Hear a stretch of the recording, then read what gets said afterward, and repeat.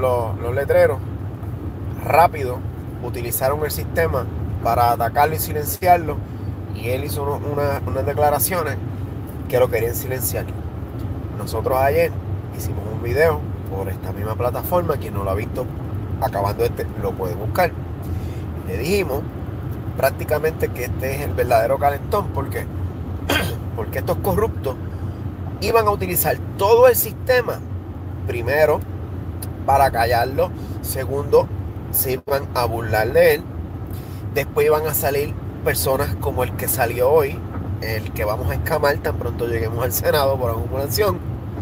Y también le dijimos que lo próximo era lo contributivo. ¿Ustedes se acuerdan? Los que lo vieron ayer, ¿se acuerdan? Que le dijimos que lo próximo era lo contributivo. Después, que lo iban a perseguir. Y después, que le iban a fabricar casos y todo lo que nos han hecho a nosotros.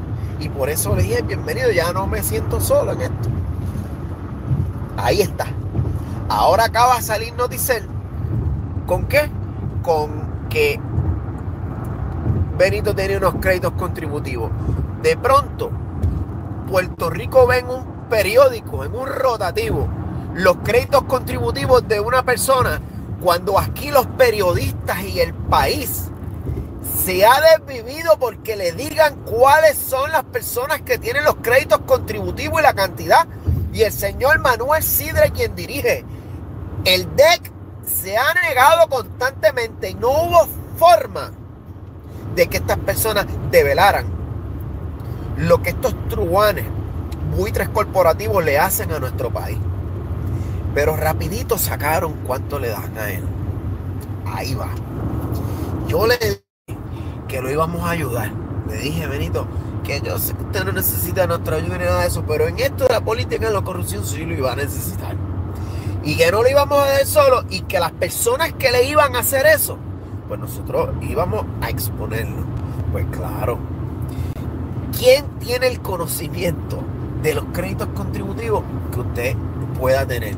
Miren, esto hay que atacarlo ahora, porque lo próximo es que lo van a perseguir. Usted verá, así son. Son, estos sí son comunistas de verdad. Y como ellos los reflejan en los demás para que no les cobije la imagen, pues uno tiene, uno tiene que aplastarlos y detenerlos. Si los créditos contributivos los maneja el DEC, Manuel Sidre es la cabeza del DEC. Pero allí trabajan varias personas. Ha llegado al gobernador y hay uno mercader. Escuchen los nombres, los apellidos que yo les puedo decir.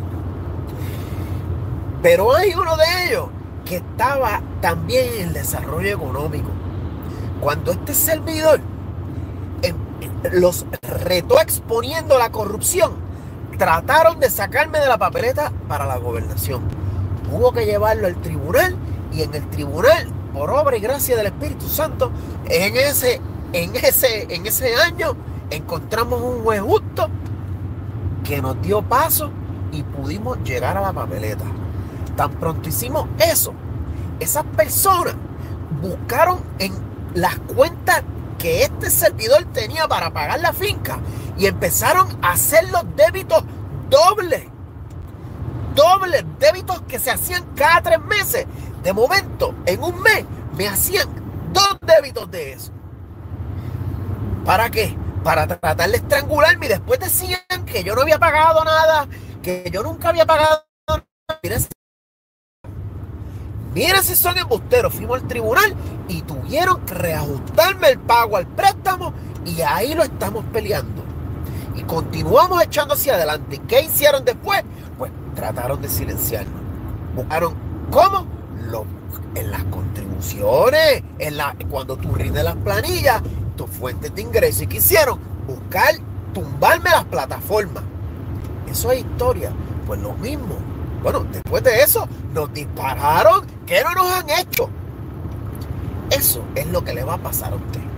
Pero miren, allí, el abogado del DEC, el que se prestó para todo eso, y el que está allí, como ya nosotros tenemos un poquito de milla en esto, le puedo decir es de apellido Pierluisi y es sobrino de, de los dos desgraciados que están tras las rejas, primos del gobernador que nosotros metimos preso.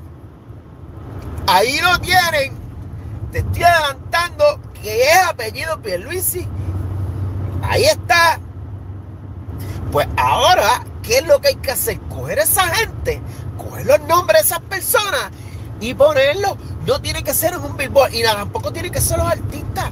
Eso lo puede hacer el que está viendo esto, el pueblo. Si hay un grupo de personas que está cercana, por ejemplo, en el área metropolitana, mire, coja una sábana, una sábana blanca y le pinta las letras en negro, o una sábana negra y le pinta las letras en blanco y lo pone y lo guinda en Minilla o en cualquier lugar de esto, en el puente que está cerca de Plaza Las Américas, y usted lo guinda allí y le pone el nombre de esos truanes que están ahí dentro, que son los que filtran esta información. ¿Por qué Noticel no pone las tablas de los créditos contributivos que se le ha dado a Federico Stuber?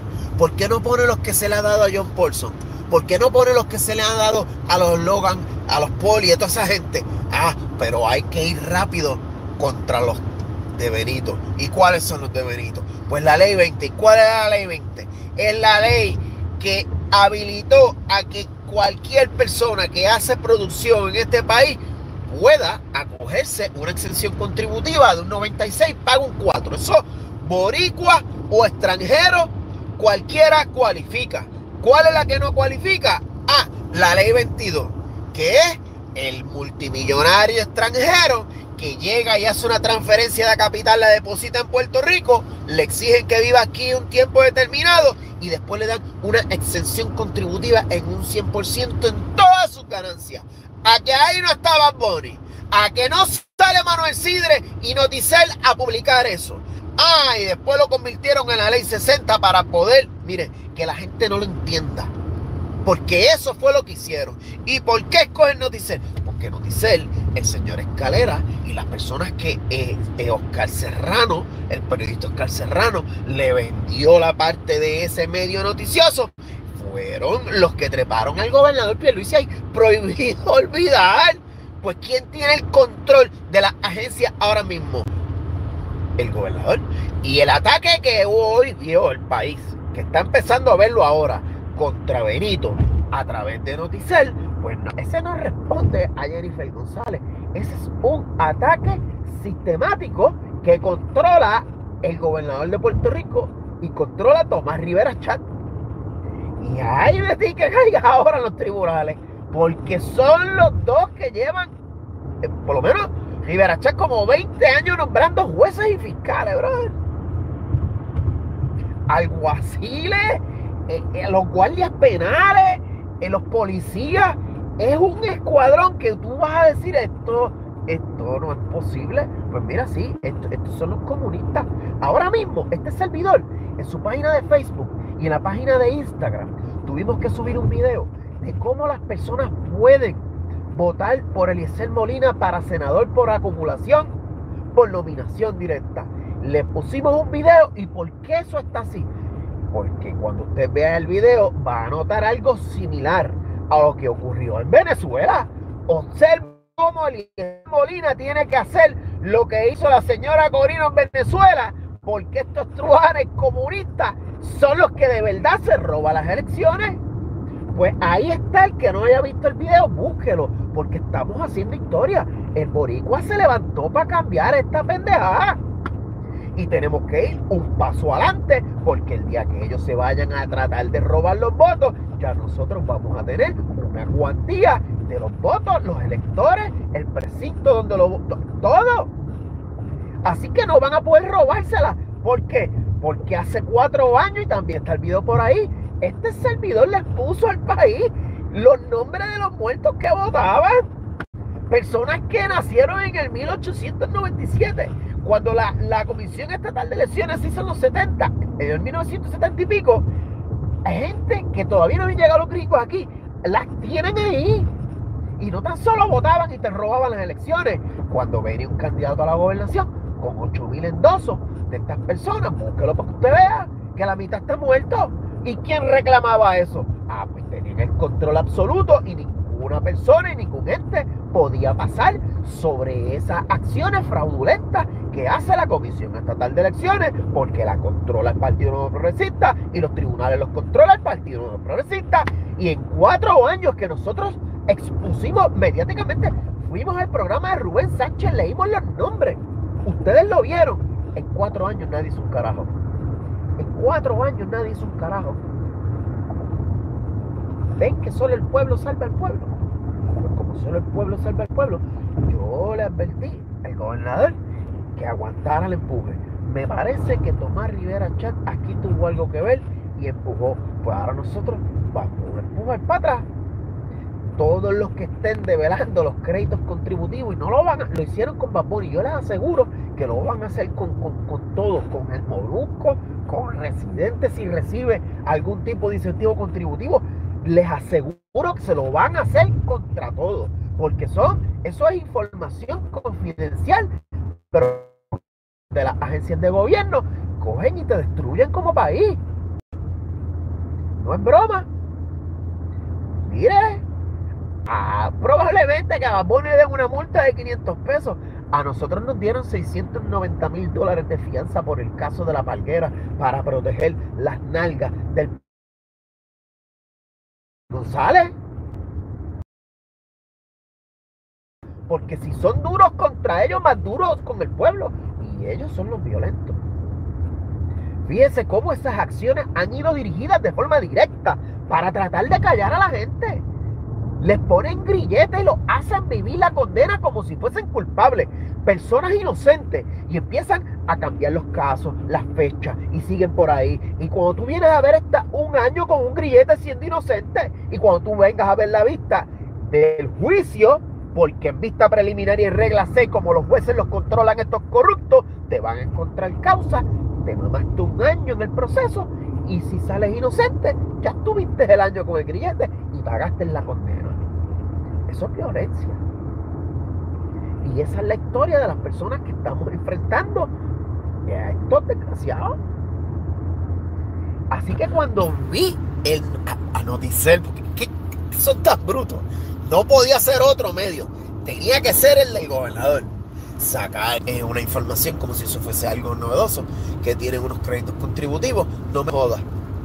Ah, no. Ahora tiene él que no coger los créditos contributivos y que venga eh, toda esta gente, Logan Paul y toda esa gente a coger créditos contributivos. Entonces uno tiene que a pulmón, a pulmón, tratar de sobrevivir y que sean los puertorriqueños quienes constantemente mantengan a esas otras sabandijas. Porque por lo menos, por lo menos, Paponi vive aquí, consume aquí, compra aquí.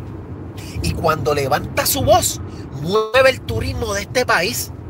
Con una sola imagen o con una frase que él diga, mueve el turismo de este país. ¿Qué carajo hace los demás que ahora mismo vienen de otros países a coger esos créditos contributivos. ¿En qué nos ayudan? Extorsión financiera. Esto se llama corrupción financiera. Y quien le viabiliza la capacidad de estos corruptos de extorsionarnos, pues son los mismos. Siempre son los mismos.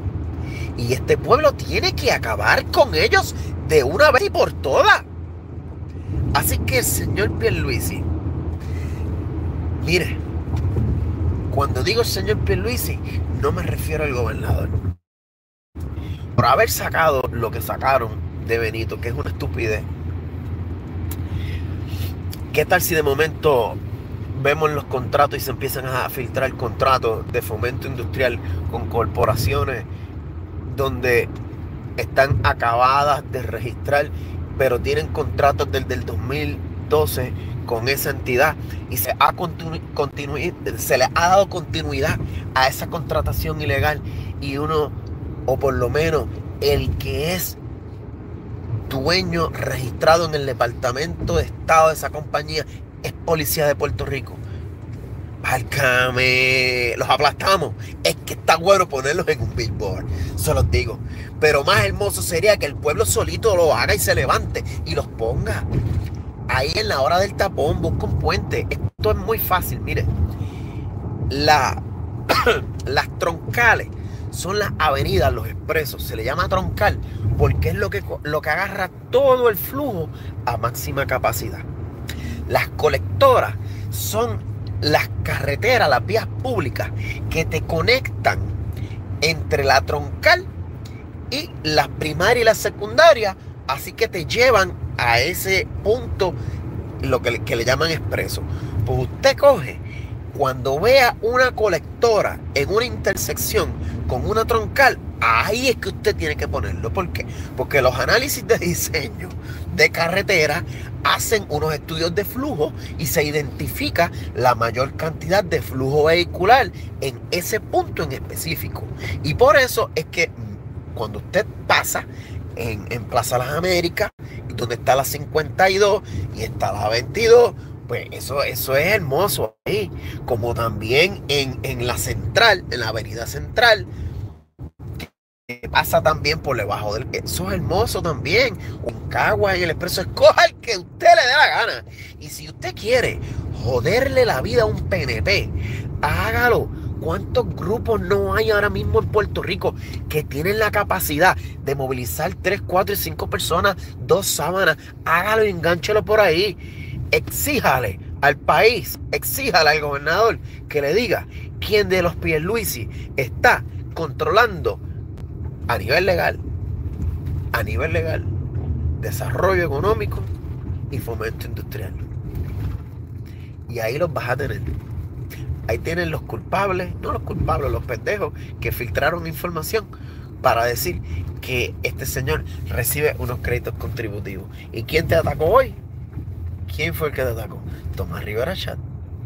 Y detrás de Tomás Rivera Chat, la noticia. Te van a dar por todos lados. Así es esto. Pero no se dejen. Este pueblo no puede continuar dejándose de estos pendejos. Así porque sí. Mire.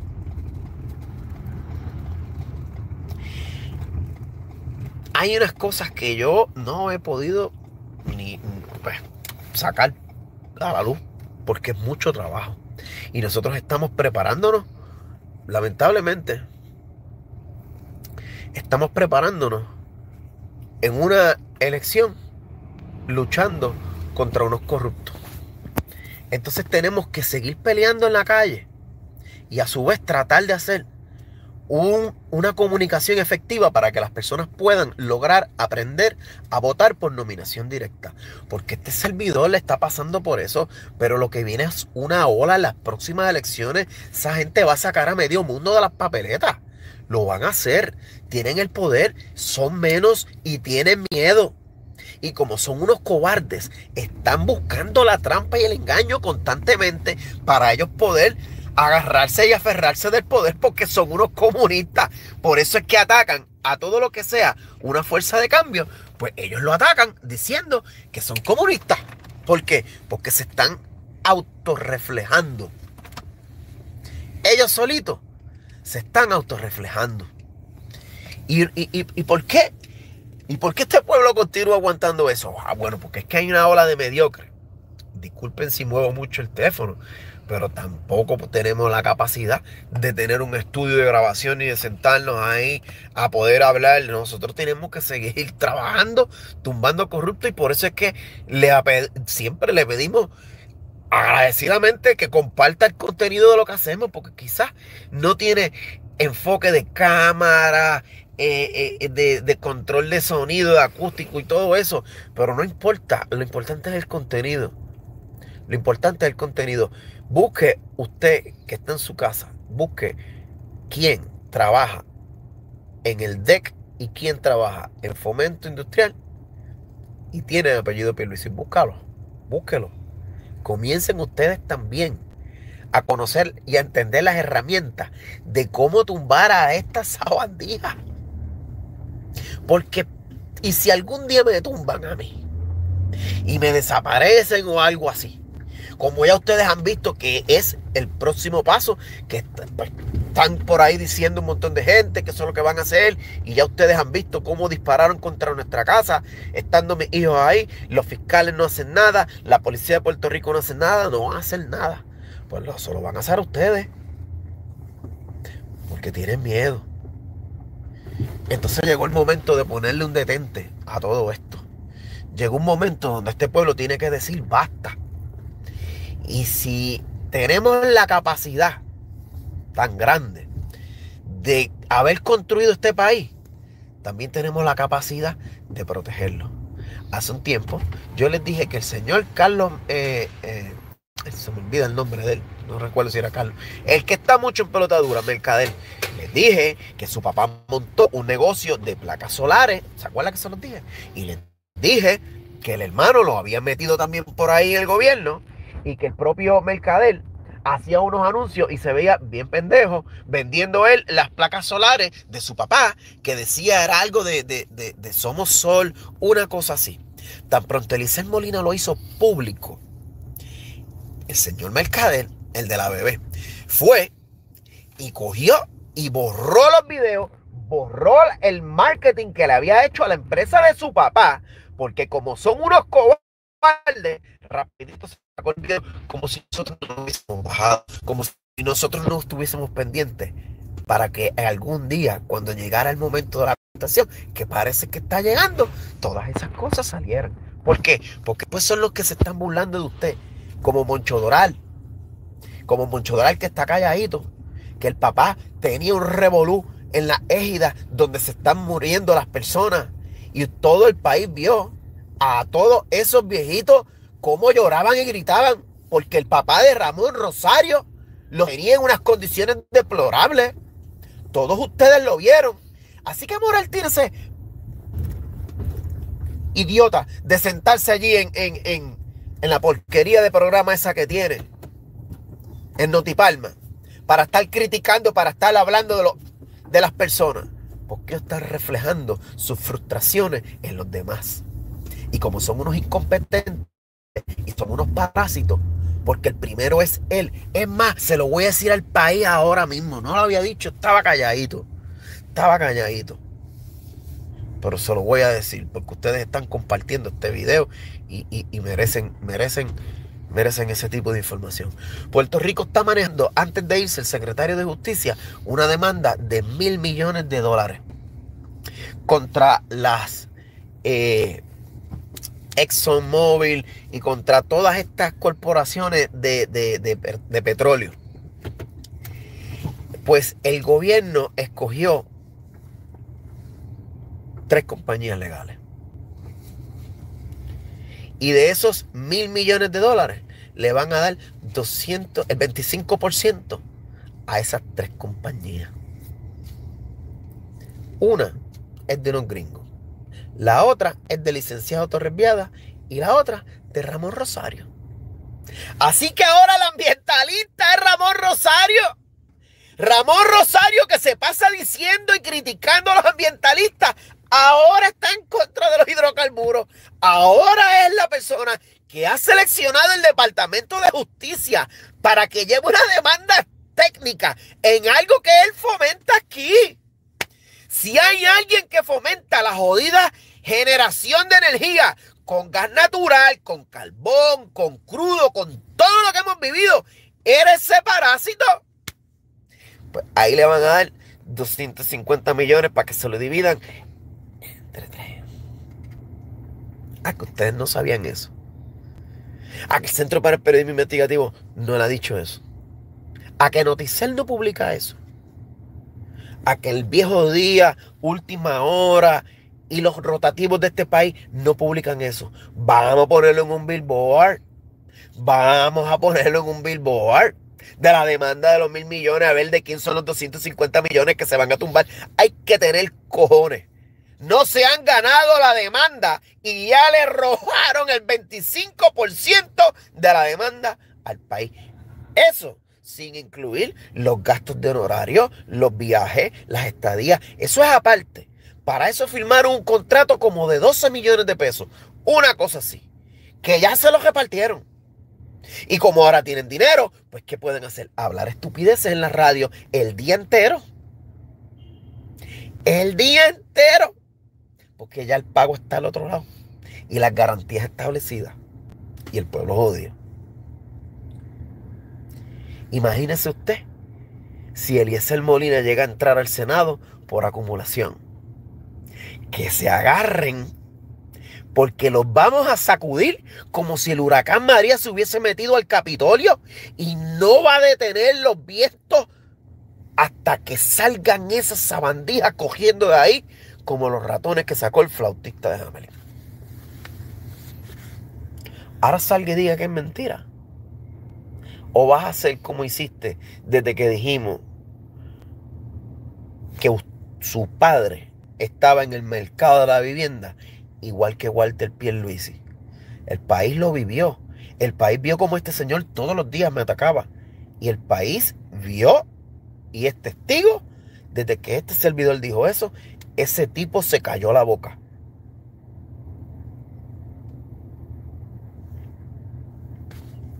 Ah, ahora son malos los hidrocarburos, ¿verdad, Samandía? Son documentos públicos. Usted lo puede buscar. Busque la demanda del gobierno de Puerto Rico contra las compañías de eh, petroleras. Son mil millones. Y busque quiénes son las corporaciones de los abogados que están que aparecen en la contratación que le dio el secretario de Justicia para entablar dicho pleito legal. Está cabrón. Así que nos han robado el dinero. Y esto que yo acabo de decirle no se discute a nivel público. Es más, usted no se entera. Usted no se va a enterar. Fue como la de las tabacaleras que al gobierno de Puerto Rico les regalaron, esto está cabrón, escuche esto, les regalaron 600 millones de dólares. Porque las tabacaleras perdieron un pleito de clase. Pues 600 millones que les regalaron al gobierno de Puerto Rico, 600 millones que cogió Pedro Rosselló, el papá de Ricky Rosselló, y los metió en un fideicomiso y generaron 1.200 millones de deuda pública contra esos 600 millones. Y ni los niños vieron el, el, porque era para darle educación a los niños sobre el problema que el tabaco causaba. Y esta gente cogió el dinero, lo metió en una cuenta y nos endeudó. Y hoy día el pueblo de Puerto Rico tiene que pagar con unos altos intereses esa irresponsabilidad por parte de la empresa criminal continua y el mal que tiene Puerto Rico, que por nombre lleva Partido Nuevo Progresista. Así que no es violencia cuando la gente dice muerta al PNP, porque violencia es las condiciones en las cuales están las escuelas de este país, que los niños tienen que ir a coger clases mientras están pintando todos los salones que están todos escascarados. Y los niños tienen que estar ahí inhalando todo eso. Violencia es que usted tenga que ir a un hospital y si tú no tienes un plan médico, tú te vas a morir. Porque ellos por dinero no te van a atender. Violencia es que tú tengas un ingreso per cápita en este país donde se toman consideraciones sumas altas que no se socializan y luego establezcan un orden de valor sobre la vivienda fuera del alcance del país y después el puertorriqueño trabaja y no puede pagar su casa. Eso es violencia. Hay muchos estados de violencia.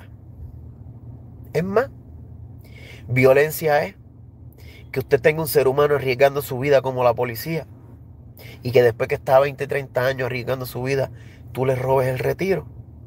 Es violencia también. ¿Y cómo uno combate la violencia institucional? Violencia popular. Pero como estamos en tiempos modernos, pues el puertorriqueño tiene que levantarse y el puertorriqueño tiene que ejercer su derecho al voto y sacarlo combinado con la participación del pueblo generando fricción en la calle. Yo espero que lo que yo acabo de decir, la gente ya lo supiera, o al menos un 20 o 30% de las personas ya supieran lo que acabo de decir. Si no lo sabía, pues con más razón comparte este video. Haga como ayer. Busque el minuto que más le guste. Mire, ahora van, van 29 minutos. A 29 minutos del video, cada PNP, no los estadistas, cada PNP que se sienta orgulloso de ser un PNP es un mamalón. Ahora vaya y lo comparte en, los WhatsApp de esa gente y en en donde sea, donde usted tenga una, una, de esas personas que usted detesta porque es PNP, y usted va y le comparte el video. Y de esa forma, usted va a ser patria. ¿Por qué? Porque le va a dar vergüenza a esa gente seguir siendo lo que son. Porque todo el mundo se está riendo ya de ellos. Ser PNP ya no es un estilo de vida. Ser PNP es la evolución del síndrome de Estocolmo. Ya no existe el síndrome de Estocolmo. Ahora es el síndrome del PNP. No existe criaturita que sea más masoquista que aquella que se viste de azul, que se refugia bajo la sombra de una palma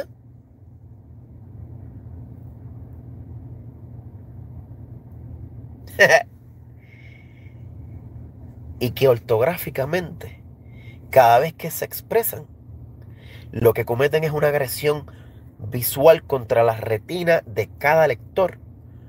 Porque esta gente son tan anormales que no saben ni cuándo se utiliza una H. Así son. Usted coge un PNP y le enseña un coquí y le dice que es una jana cubana. Porque son así.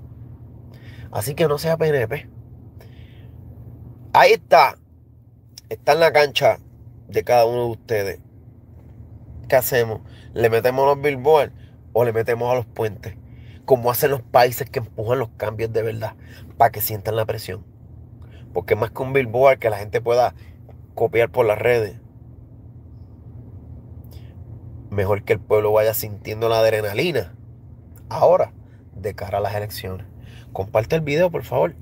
Hoy no pudimos a las 8, tenemos un compromiso, pero mañana a las 8 estamos aquí fijamente. Eso está horario establecido y no les vamos a fallar con eso. Vamos a tratar de hacer una buena disciplina. Y le adelanto, busquen los videos de cómo se vota por Eliseo Molina en nominación directa. Vaya a Facebook, vaya a Instagram, están ahí. Vaya y búsquelos. Y como usted le está dando share a este video, así mismo vaya y búsquelo y déle share por todas las partes. Y después que usted comparte este video y le diga al PNP, mira, Eliezer Molina te dijo mamalón en tal minuto. Pues ahí, detrás de ese, le envías el, el, el, el de Facebook y el de Instagram de cómo votar y dice, mira, y ahí tiene para que aprenda a votar. Y ya está. Y es una lástima que se haya desperdiciado todo este tiempo en explicar a las personas que buscaran el mérito de cada elector y simplemente se dedicaron a decirle que votaran por insignia o por partido y que entre todo el mundo por obra y gracia del Espíritu Santo. No. Recuérdese siempre las palabras sabias de ese gran pastor, hombre de fe, que nos dijo a cada uno de nosotros, tú no metes cabras a biche.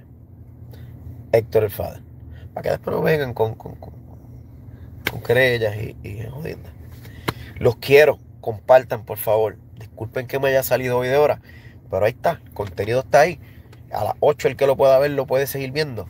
Y vamos a darle candela a esta gente. Vamos a sacarlo de una vez y por todas, porque este país está haciendo historia. Este país no solo sacó un gobernador por indignación antes del término establecido, sino también tiene la capacidad devolutivamente escoger a las mejores personas que de verdad están haciendo algo por este país para poder acabar con este mazo y entro de corruptos que lamentablemente por décadas nos han gobernado. Para adelante, siempre para adelante. Los quiero un montón. Comparta, por favor. Necesitamos que comparta en masa. Buenas noches.